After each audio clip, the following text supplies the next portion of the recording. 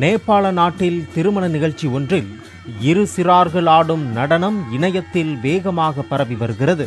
சுற்றிலும் பெண்கள் நின்று ரசித்துக் கொண்டிருக்க சிறுவனும் சிறுமியும் அட்டகாசமாக நடனமாடுகின்றனர் கடந்த மே பதினோராம் தேதி இணையத்தில் பரவிய இந்த வீடியோவை இதுவரை ஒன்று புள்ளி முப்பது கோடி பேர் பார்த்து ரசித்துள்ளனர்.